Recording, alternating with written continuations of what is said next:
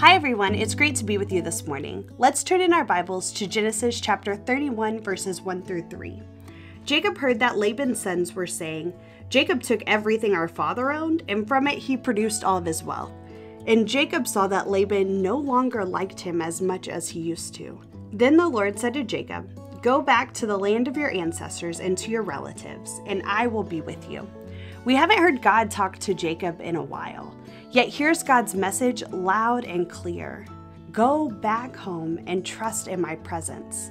This is interesting because Jacob is obviously doing really well at raising his livestock, yet he's lost the favor of his uncle and extended family. We don't know if God was actually calling Jacob back this entire time, and we just read about it now when Jacob has to face that he's no longer in Laban's good graces. We're like this too.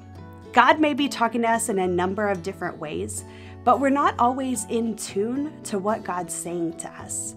May we take time today to listen for God.